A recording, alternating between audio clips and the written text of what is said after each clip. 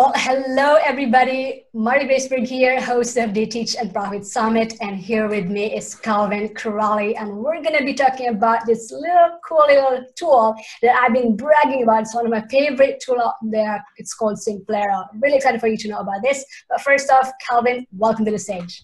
Thank you so much. Thank you for having me, and thank you to everyone who's watching. And yeah, wonderful.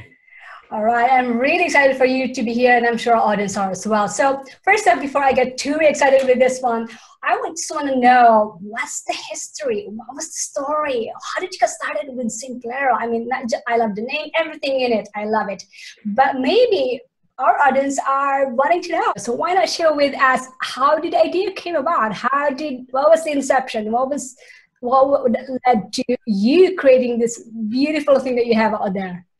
Yes what happened was that I was uh, an entrepreneur for many years, a software entrepreneur. I had a software consulting firm and I tried to create product companies and it wasn't working. It just wasn't working.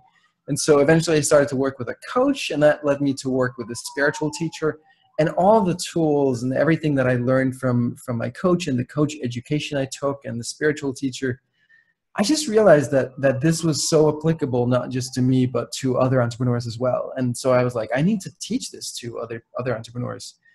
And being a software guy, I had no idea how to do this, right? So I was like, well, maybe I need to put on a workshop.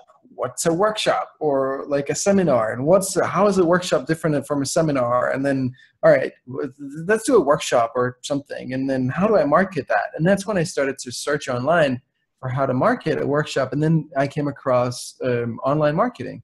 I came across these people who were talking about the product launch formula and and all these things, and I was like, oh, that's interesting. Um, that seems like a good way to go, right? Because then you can reach an audience, you know, wherever they are, and they don't need to come there. You don't need to serve tea and snacks and food and whatnot, and find a room and all that.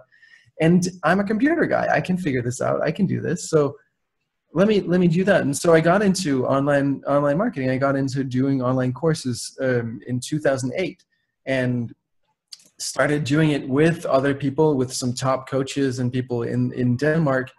And i just needed the software to do it. it i didn't like any of the software that was on the market. It wasn't really most of it wasn't really uh, specifically built for this type of business. And there were certain things that you couldn't do like subscription plans or installment plans and things like that. And so i ended up creating my own and then because I was at the same time, I ended up teaching this stuff to other people in Denmark. Then you know other people started to be like, "Hey, I see the software you're using. Can I use it too?"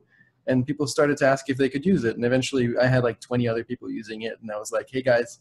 Would you be okay with if I started to actually charge for this? I mean, they knew up front that I was going to charge for it eventually, and then they were like, "Yeah, sure." And so it just slowly grew from there. And eventually, I think about two years in or something, maybe more, um, it got to the point where I could live off of that by itself without having to do any any of my own courses and stuff on the side, and it's just been growing from there.